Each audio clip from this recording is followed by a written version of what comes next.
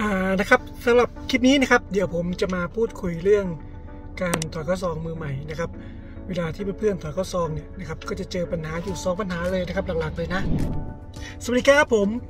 ผมพี่ตั้มถามยานะครับสำหรับคลิปนี้นะครับผมจะมาอธิบายเพื่อนๆนะครับ ให้เพื่อนๆเข้าใจถึง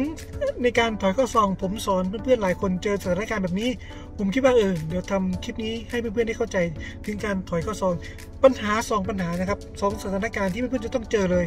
แล้วบางคนก็แก้ไม่ได้ด้วย บางคนก็แก้ได้แบบฟุกๆ หรือบางคนแก้ได้แต่ก็ไม่รู้ว่าแก้ได้ยังไงทำได้ยังไงงงเหลือเกินนะครับ บางคนก็หมุนสเปซสปะไปฟุกนะครับแล้วแก้ได้เลย แต่ก็ไม่รู้ว่ามันฟุกเนี่ยมันมันแก้ยังไงพอมาเจอสถานการณ์อีกทีนึงก็ทำไม่ได้แล้วนะครับ เดี๋ยวผมจะมาอธิบายแจกแจงให้เพื่อนๆเข้าใจ ถึงสองสถานการณ์นี้เวลาถอยข้อซองต้องเจอแน่นอนมือใหม่ต้องเจอ แล้วถ้าเจอแล้วเราจะแก้ยังไงไปดูครับ แต่ก่อนที่จะไปดูครับฝากเพื่อนกดไลค์เพื่อเป็นกำลังใจผมด้วยนะครับกดไลค์ใช่ไหมครับถ้ากดแล้วไปดูนะครับไปการถอยข้อซองมือใหม่นะครับ เวลาที่เพื่อนๆถอยเข้อซองเนี่ยนะครับก็จะเจอปัญหาอยู่ 2 ปัญหาเลยนะครับหลักๆเลยนะ ซึ่งเราจะมีวิธีการแก้ยังไงนะครับผมการันตีเลยว่าเพื่อนๆต้องเจอแน่นอน 2 ปัญหานี้เวลาถอยเข้อซองนะครับแล้วก็มือใหม่เนี่ยจะแก้ปัญหาไม่ได้ครับ ก็ก็จะงงก็จะหมุนพวงมาลัยไปมั่วนะครับหวังว่ามันจะเข้าที่เข้าทางให้เองนะครับ ก็หมุนไปเรื่อยเปื่อยนะครับ สุดท้ายแล้วบางทีถ้าโชคดีก็เข้าซองได้โดยปลอดภัย แต่ถ้าไม่เป็นใจนะครับ หมุนแล้วหมุนอีก โดยไม่รู้หลักการ มันก็จะอยู่อย่างนั้นนะครับวนอยู่อย่างนั้นทำให้คนที่เขารอเกิดอาการเริ่มท้อนะครับ ก็อาจจะมีการบีบแตรไล่นะครับ หรือไม่ก็บางทีก็อาจจะลงมาช่วยโบกให้อะไรเงี้ยนะนะครับ เพื่อนๆก็น่าจะเจอนะเพื่อนๆมือใหม่ใครเจอบ้างก็คอมเมนต์บอกผมด้วยนะครับด้านล่างนี้นะครับว่าเคยเจอสถานการณ์แบบนี้ไหมนะครับเดี๋ยวเรามาดูนะครับว่าสองสถานการณ์นี้มีอะไรบ้างเดี๋ยวผมมาแจกแจง แล้วก็พร้อมวิธีการแก้ครับไปดูครับมานะครับ อันดับแรกเลยนะครับการถอดข้อซองนะครับ ที่มีปัญหาและเจอบ่อยๆครับก็จะมีอยู่ 2 แบบ ที่เราเจอบ่อยๆเลยนะนะครับก็จะมีอยู่ 2 แบบแบบแรกเนี่ยนะครับก็จะเป็นบริเวณนอกซองนะครับแบบที่ 2 ก็จะเป็นบริเวณในซองครับอ่าพี่ตั้มครับเป็นยังไงครับนอกซองในซองผมไม่เข้าใจครับแบบแรกนะครับนอกซองก็คือว่าเราถอยเข้ามาท้ายยังไม่เข้าซองนะครับอ่าท้ายยังไม่เข้าซองก็เกิดปัญหารถนะครับ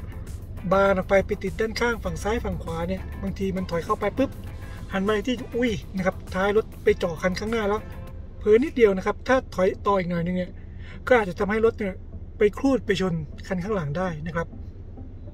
ดังนั้นสถานการณ์แบบนี้มือใหม่ก็จะงงก็จะหมุนสเปซสปะ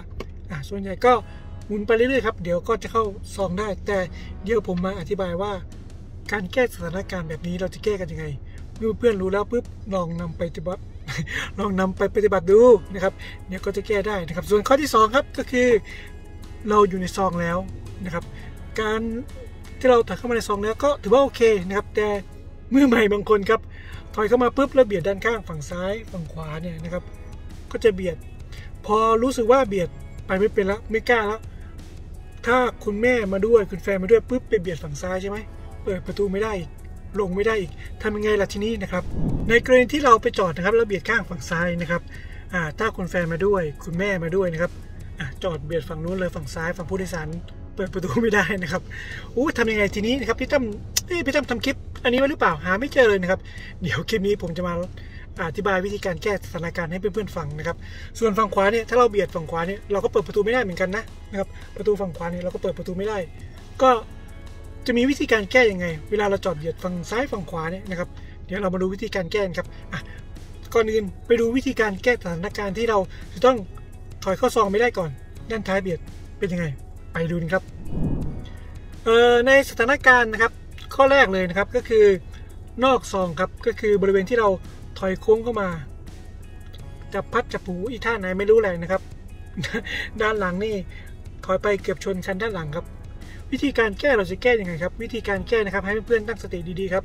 หยุดแล้วนึกถึงคลิปของผมดีๆครับ วิธีการแก้ก็คือนะครับ ง่ายๆเลยนะครับ ทุกอย่างก่อนถอยเข้ามาปุ๊บดูฝั่งขวาห่างอ่าฝั่งขวาถอยมาปุ๊บห่างพอดีเลย พอดูฝั่งซ้ายไอ้ยาฝั่งซ้ายนี่ท้ายไปเบียดกันข้างหน้าครับ ฝั่งนู้นอะฝั่งซ้ายมือเรา วิธีการแก้แก้ยังไงครับอ่าวิธีการแก้ง่ายๆนะครับ โดยที่เราไม่ต้องเดินหน้าสเปซสปาหมุนไปหมุนมาเดี๋ยวงงพวงมาลัยนะครับ วิธีการแก้แก้ง่ายๆครับนะครับอะอันดับแรกนะครับ เราก็ต้องทำการคืนล้อตรงก่อนนะครับ เราหมุนขวาโค้งมาใช่ไหมปุ๊บคืนซ้ายครับคือเราตรงถ้าเราฝั่งซ้ายไปเบียดนะอ่าเราถอยโค้งมาเนี่ยฝั่งซ้ายไปเบียดนะครับหมุนขวาโค้งมาเราก็ต้องคือรถตรงหมุนซ้ายคือรถตรงก่อนปุ๊บคือรถตรงเสร็จแล้วใส่เกียร์เดินหน้าครับ ถ้าเราอยู่นอกซอง ถอยหลังยังไม่เข้าซอง หรือเข้าไปตรงจอบปากซองแล้วนะครับ จะเข้าปากซองนึกเข้าไปแล้วนิดนึง แต่ว่าถอยต่อไม่ได้แล้ว ท้ายไปเบียดนะครับ หยุดรถครับ คือรถตรงก่อนนะครับ คือรถตรงแล้วเราก็ใส่เกียร์เดินหน้าครับ เดินหน้าออกไปได้นิดเดียว หมุนไปฝั่งที่ท้ายเบียดครับอ่ากรณีแรกถ้าเราเบียดฝั่งซ้ายเราถอยโค้งมาจากฝั่งทางฝั่งขวามือเราใช่ไหมเราโค้งมาปุ๊บอะท้ายเราไปเบียดด้านข้างฝั่งซ้ายปุ๊บหยุดรถตรง นะครับหยุดหยุดรถก่อนคือล้อตรงนะครับแล้วเราก็เดินหน้าไปนิดนึงหมุนซ้ายหมดครับหมุนซ้ายหมุนไปทางทิศ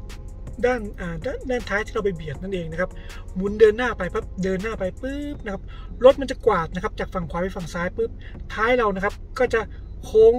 นะครับโค้งออกมานะครับโค้งมาตั้งตรงกับอ่าตั้งตรงกับซองนะครับ ทีนี้วิธีการนะครับเราจะไม่ให้ตรงกับซอง เราจะไม่ตรงกับซอง เพราะว่าถ้าเราตรงกับซองนะครับท้าย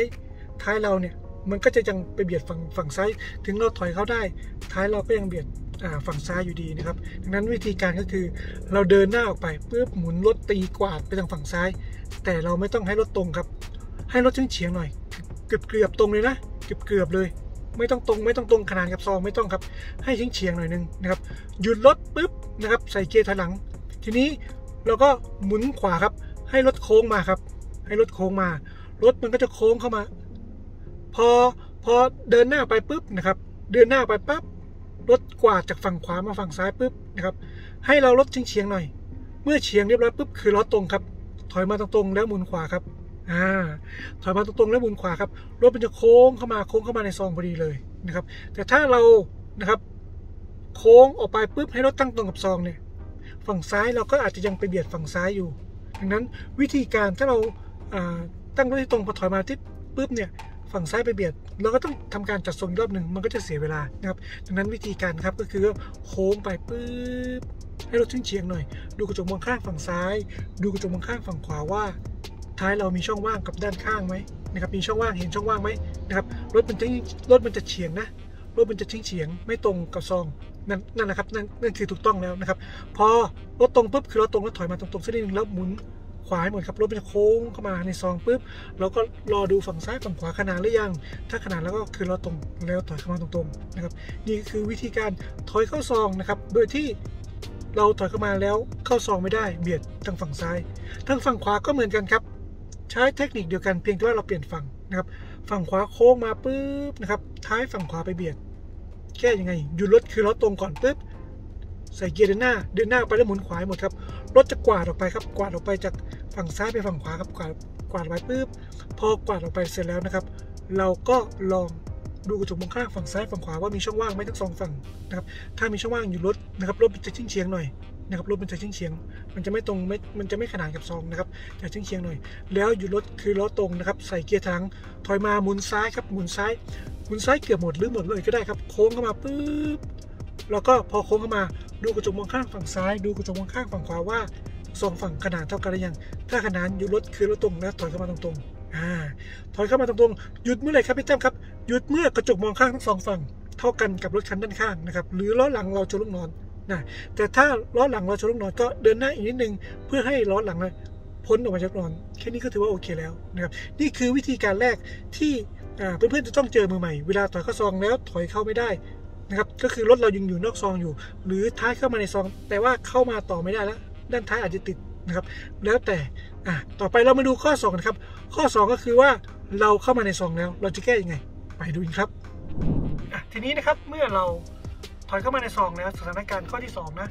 เราอยู่ในซองเรียบร้อยแล้ว แต่ไอ้จ้าพี่ตั้มครับติดฝั่งซ้ายติดฝั่งขวาครับ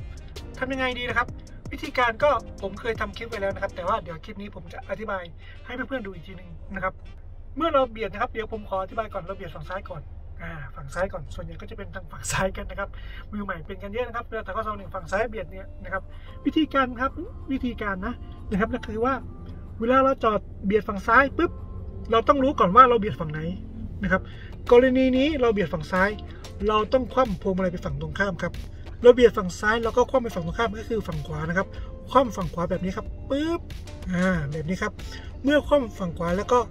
อ่าแล้วก็เดินหน้าไปครับอ่าเราใส่เกียร์เดินหน้านะใส่เกียร์เดินหน้านะครับ การแก้สถานการณ์เราเดินหน้าตลอดนะครับอ่าเดินหน้าตลอดนะครับเดินหน้าจากซองนะ แล้วก็เดินหน้าออกไปครับเดินหน้าไปรถเชทางฝั่งขวาครับรถเชพอเรามีความรู้สึกว่ารถเฉปุ๊บคือเราตรงแล้วเดินตรงๆไปก่อนอ่าพอเดินตรงๆไปปุ๊บนะครับรถก็ยังเฉอยู่นะ รถยังวิ่งออกตรงออกไปเลย เราก็ทำการคว่ำซ้ายอีกทีหนึ่งครับ เพื่อดึงล้อรถให้ไปทางฝั่งซ้ายครับ รถมันก็จะเฉออกมาครับเฉออกมาเฉออกมา เราก็ดูว่ารถเราขนานกับด้านหน้าหรือยัง ขนานกับแนวซองด้านหน้าหรือยัง ขนานกับรถด้านหน้าหรือยังนะครับ เมื่อเรามีความรู้สึกว่าเราขนานเราก็มาเช็ค อีกทีนึงว่าดูที่กระจกมองข้างครับว่าตัวถังรถเราขนานกับด้านข้างไหมตัวถังรถเราฝั่งขวาขนานกับด้านข้างไหมถ้าขนานปุ๊บอยู่รถคือรถตรงใส่เกียร์ถอยหลังถอยมาตรงๆได้เลย นะครับถอยมาตรงๆได้เลยง่ายๆแบบนี้เลย ถอยมาปุ๊บแล้วก็ตอนถอยก็เช็คหน่อยว่ารถเรามันเฉไหมนะครับแน่นอนครับเพื่อนๆมือใหม่ทุกคนถอยเข้ามาปุ๊บเฉตลอดนี่ยบางทีอาจจะมีเฉซ้ายบ้างขวาบ้างเพราะบางทีการหมุนพวงมาลัยการปล่อยรถไหลไปเนี่ยบางทีมันก็ไม่ตรงนะครับหมุนพวงมาลัยช้าไปหมุนพวงมาลัยเร็วไปรถเคลื่อนที่ช้าไปรถเคลื่อนที่เร็วไปทุกอย่างมีผลหมดเลยนะครับ ดังนั้นเมื่อรถเฉ เราก็ต้องดูก่อนว่ารถเฉไปฝั่งไหน เดี๋ยวคลิปหน้าผมจะมาอธิบายอีกทีหนึ่งว่ามือใหม่ชอบหลงนะครับเวลารถเฉเนี่ยแยกไม่ออกว่ารถเฉแล้วเราถอยหลังเนี่ยเราเฉเราแก้ยังไง ดูพวงมาลัยยังไง บางคนก็จะดูผิดข้าง ดูผิดข้างยังไงครับอ่าเดี๋ยวผมมาเล่าอธิบายในคลิปหน้า เอาทีละส่วนนะครับ เพราะว่าผมเจอมือใหม่นะครับ เวลาเฉถอยแล้ว แก้แล้ว แต่ดูผิดข้างผิดด้าน ดูยังไงงงพวงมาลัยหมุนหมุนถูกเลยนะ แต่ แก้สถานการณ์ผิดด้านครับ เลยไปผิดไปถูกทำให้งงไปใหญ่ ก็ทำตามคลิปแล้วทำไมไม่ได้ เพราะว่าเพื่อนๆดูผิดด้านครับ ผิดด้านยังไงครับ ถ้าอยากรู้รอดูคลิปหน้าครับอ่ารอดูคลิปหน้านะ ส่วนคลิปนี้มาอธิบายในส่วนของการแก้สถานการณ์ในการเอ่าเบียดข้างก่อนนะครับ ผมพี่ตั้มนี่แน่รอพูดไปทีเดียวก็ไม่ได้นะ ไม่ได้ครับคลิปเดี๋ยวคลิปมันยาวเกินนะครับ เดี๋ยว พูดคลิปหนึ่งเนี่ยก็แยกเป็นสัดส่วนนะครับ ถ้ามาพูดรวมกันเดี๋ยวเพื่อนๆจะงง เดี๋ยวจะไม่เข้าใจกันไปใหญ่นะครับ ต้องขออภัยด้วยจริง ๆนะครับ ทีนี้ในส่วนของการเบียดฝั่งขวา การเบียดฝั่งขวา สถานการณ์แก้เนี่ยเหมือนกันเลย เหมือนกันเลยก็คือว่า เราก็ทำเหมือนกับเมื่อกี้เลย เพียงแต่ว่าเราทำฝั่งตรงข้าม แล้วเบียดฝั่งขวาคว่ำพวงมาลัยไปฝั่งตรงข้ามก็คือฝั่งซ้ายคว่ำซ้ายครับแบบนี้ครับอ่าพอคว่ำซ้ายเสร็จแล้วปุ๊บเดินหน้าไปรถไปเฉียวทางฝั่งซ้าย เมื่อเฉียวทางฝั่งซ้ายแล้วปุ๊บเรามีความรู้สึกเราเป็นเฉียวเราคือเราตรงรถจะเฉียงทางฝั่งซ้ายครับ เมื่อเฉียงออกทางฝั่งซ้ายเสร็จแล้วปุ๊บเราก็คว่ำขวาครับรถเดินหน้าทุกครั้งที่เราคว่ำขวาคว่ำซ้ายคือเราตรงรถเคลื่อนที่ตลอด เพื่อนๆมือใหม่ถ้ายังใจไม่กล้าก็เคลื่อนที่ช้าๆก่อน ไม่ต้องเร็วไปเรื่อยๆนะครับ เมื่อเราคือรถตรงเสร็จแล้วนะครับรถยังเฉียงอยู่เฉียงทางฝั่งซ้ายใช่ไหมครับ เราก็คว่ำขวาครับ เพื่อดึงหน้ารถเป็นทางฝั่งขวา เมื่อรถเฉมนะครับมาทางฝั่งขวาปุ๊บเราก็ดูด้านหน้าเลยครับ หน้ารถเราขนานกับคันด้านหน้าไหมหน้ารถเราขนานกับซองด้านหน้าไหมนะครับ ดูเป็นแนวทาง พอดูปุ๊บขนาดแล้วครับพี่ตั้มครับประมาณนี้เลยได้ครับ ถ้าเฉขนานปุ๊บอยู่รถนะครับ คือเราตรงเดินหน้าอีกสักหน่อยให้รถเซตตัวเช็คอีกทีหนึ่งเฟรนเช็คดูกระจกมองข้างฝั่งซ้าย ดูกระจกมองข้างฝั่งขวาว่า ตัวถังรถเราขนาดไหมนะครับ ตัวถังรถเราด้านข้างที่เงาสะท้อนจากด้านข้างกระจกมองข้างรถเราขนาดกับแนวรถที่อยู่ด้านข้างด้านหลังไหมขนาดกับเส้นด้านหลังไหมเช็คดีๆครับเมื่อขนาดปุ๊บใส่เกียร์กลางถอยมาตรงๆได้เลยอ่าถอยมาตรงๆปุ๊บเราจะหยุดก็ต่อเมื่อกระจกมองข้างฝั่งซ้ายฝั่งขวาเท่ากันฝั่งใดฝั่งหนึ่งก็ได้หรือสองฝั่งก็ได้ก็แล้วแต่นะครับ หรือเราถอยมาปุ๊บเอ่อล้อเอ่อล้อหลังเราชนลูกหนอนนะครับชนลูกหนอนปุ๊บเมื่อรู้เมื่อล้อหลังเราชนลูกหนอนเรารู้แล้ว แล้วก็ใส่เกียร์เดินหน้าเดินหน้าอีกนิดนึงเพื่อให้ล้อหลังเราพ้นมาจากอ่าลูกหนอนเหลี่ยม เพื่อให้นะครับหน้ายางของเราเนี่ยพ้นจากลูกหนอนเพื่อให้หน้ายางเราและของเราจะได้ไม่ไปบดตรงอ่าลูกหนอนนะครับ นี่ก็คือวิธีการแก้สถานการณ์นะครับให้เพื่อนลองนำไปปฏิบัติดูลองนึกภาพในหัวครับเอาภาพในหัว จำภาพในหัวให้ได้นะครับ แล้วลองไปแก้สถานการณ์ดูครับ เราจะได้ไม่ต้องหมุนพวงมาลัยหลายรอบ เราจะได้ไม่งงพวงมาลัยเราจะได้ไม่งงว่าสถานการณ์ตอนนี้รถเรา มันอยู่ตรงไหนอะไรยังไง เมื่อเรามีภาพจำในหัวแล้วว่าอ๋อมันอยู่เราอยู่ในสถานการณ์นี้ เราจะแก้แบบนี้มันจะทำให้เพื่อนๆนะครับ สามารถแก้สถานการณ์ได้ง่าย ๆ มากขึ้นนะครับ ก็ไว้เป็นแนวทางเพื่อนๆแล้วกันนะครับ ถ้าเพื่อนๆชอบคลิปนี้นะครับ ฝากเพื่อนกดไลค์เพื่อเป็นกำลังใจผมด้วยนะครับ ขอบคุณครับผม ไว้เจอกันคลิปหน้าครับ สวัสดีครับ เป็นยังไงกันบ้างครับเพื่อนๆครับกับการแก้สถานการณ์นะครับ ซึ่งสองแบบนี้ก็คือ ส่วนแรกก็คือเรายัง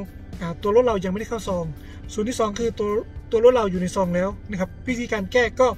แตกต่างกัน ถ้าอยู่นอกซอง เราต้องหมุนพวงมาลัยไปทิศทางที่ท้ายเราเบียดนะแต่ถ้าเราอยู่ในซอง เราก็